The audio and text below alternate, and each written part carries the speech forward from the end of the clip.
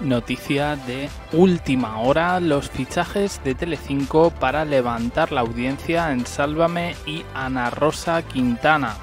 Bueno, me voy a centrar en Sálvame y Ana Rosa Quintana, pero Ana Rosa Quintana comprende ya es mediodía y también vamos a hablar del fin de semana. Telecinco ha puesto en marcha una estrategia a través de sus principales productoras para que los programas en directo cuenten con nuevos colaboradores que sean bomba y eh, que de alguna manera supongan algo innovador para la próxima temporada.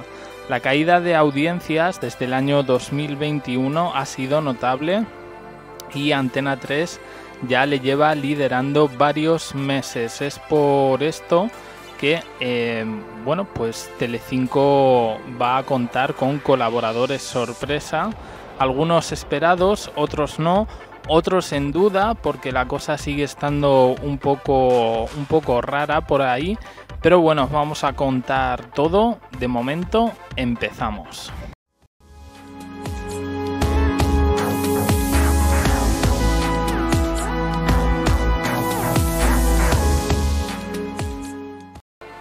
Pues con la primera que empezamos es con la joya de la corona. Eh, ahora mismo Ana María Aldón se encuentra colaborando los fines de semana en Ya es verano y también parece que se va a incorporar al nuevo programa de Emma García para los fines de semana. Por cierto, se está no no va a ser ya es otoño, ya aviso.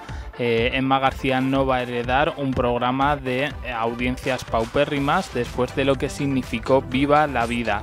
Eso sí, parece que eh, con toda probabilidad Unicorn Content, la productora de Ana Rosa Quintana, se seguirá haciendo cargo de, eh, de la producción de ese programa, que por cierto va a mantener a Saúl Ortiz como director de contenidos de la sección de Corazón.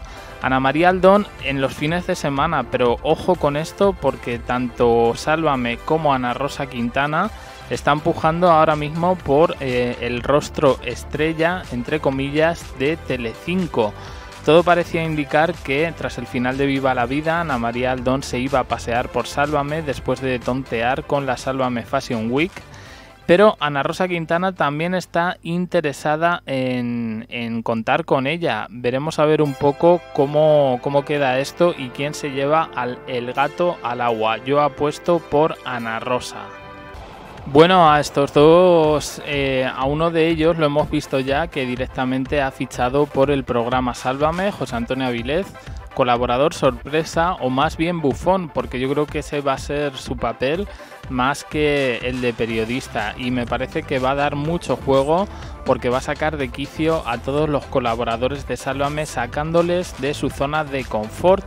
Otra que se barajaba para ese programa era la propia Alejandra Rubio, eh, lo dijimos este verano, sin embargo, eh, bueno, el que no lograra un deluxe con grandes audiencias, eh, con su presencia y con su madre Terelu Campos como presentadora, pues parece que desdibuja un poco su futuro en el programa de la fábrica de la tele. A eso hay que añadir que Alejandra no se encuentra muy cómoda eh, en, ese, en ese programa.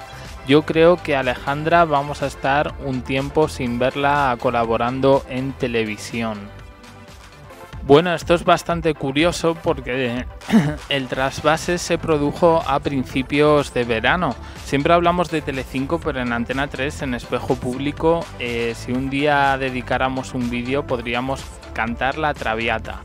En este caso, eh, Nacho Abad, que era colaborador de Ana Rosa Quintana, se va a reincorporar a ese programa en la nueva temporada y lo hemos visto eh, colaborando en programas como Sálvame o Ya es Mediodía eh, con colaboraciones puntuales este verano. Al que hemos visto más ha sido Alfonso Egea, eh, igualmente también en Ya es Mediodía y en Ya es Verano. Los dos periodistas de, sucesos fueron despedidos de Antena 3 y Telecinco los ha vuelto a recoger para darles una nueva oportunidad. Eh, bueno, es que de espejo público podríamos hablar largo y tendido, pero bueno, vamos a dejarlo en que son los fichajes estrellas de Ana Rosa Quintana. Y a todos sorprendió ver a Olvido Hormigos el pasado viernes en el Deluxe eh, concediendo una entrevista que en principio ese horario iba a ir dedicado a Miriam Sánchez. En este caso parece que eh, la aparición de Olvido, por sorpresa, de manera espontánea, no va a ser la única. Eh, yo no sé en qué programa va a recalar, si va a ser en Sálvame o a lo mejor la podemos ver en Ana Rosa Quintana, no creo eh, por los problemas con Lequio y demás, y ni en ninguno de su productora. Pero he pensado también, eh, no es que se, haya rumoreado, pero sí eh, se está hablando de que Olvido Hormigos tiene planes en Telecinco. Sí puede ser una de las colaboradoras que se incorpore al debate de Pesadilla en el Paraíso. De hecho, yo pensaba que iba a ser incluso una de las concursantes. Al final parece que no. Eh, pero la ex concejala de los Llévenes eh, yo creo que la vamos a ver prontito eh, de vuelta en Telecinco. Este sí que no os lo esperabais, ¿verdad? Pues Antonio Tejado. Y diréis, si Antonio Tejado ahora, bueno, ¿qué está haciendo?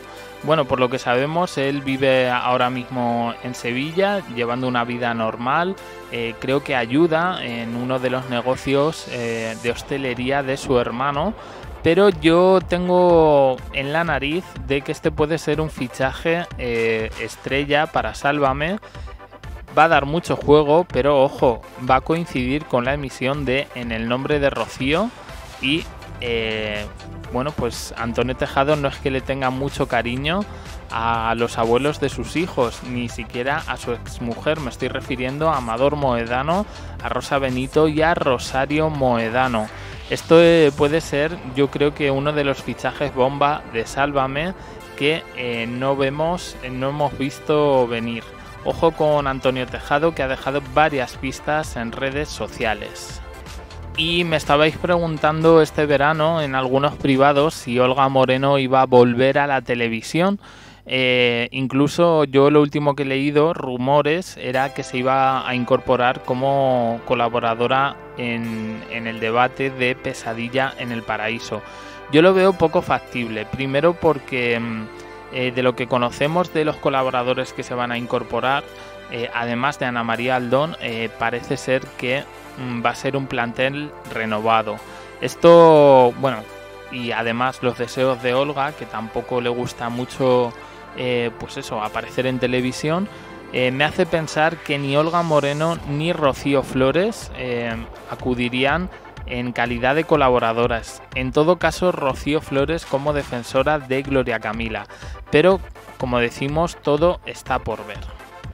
Y aquí os dejo la última sorpresa, otro que se está rumoreando eh, porque ha sido despedido inesperadamente de espejo público, algo que parece ser que no se ha tomado muy bien. Eh, de hecho, parece ser que la amistad que tenía con Susana Griso ha desaparecido prácticamente. Y ojo con Fran Rivera, que hay medios que están informando que también se encuentra distanciado de su hermano Cayetano. Fran Rivera ha probado la tele en anteriores temporadas en Antena 3, le ha gustado y es un caramelito a lo Ana María Aldón, vamos a decir, para las dos productoras principales de Telecinco, La Fábrica de la Tele y Unicorn Content. Sálvame, Ana Rosa Quintana. En fin, nuevos colaboradores o antiguos colaboradores, eh, algunos con más visos de quedarse que otros, pero bueno, aquí os he ofrecido más o menos un resumen de lo que nos vamos a encontrar en la nueva temporada en los distintos programas de Telecinco. Dejad vuestras opiniones en comentarios, suscribiros, campanita y un me gusta en apoyo al canal. Nada más, yo os dejo aquí con más vídeos y eh, bueno, pues decidme qué os parece cada colaborador en comentarios. Gracias por estar ahí.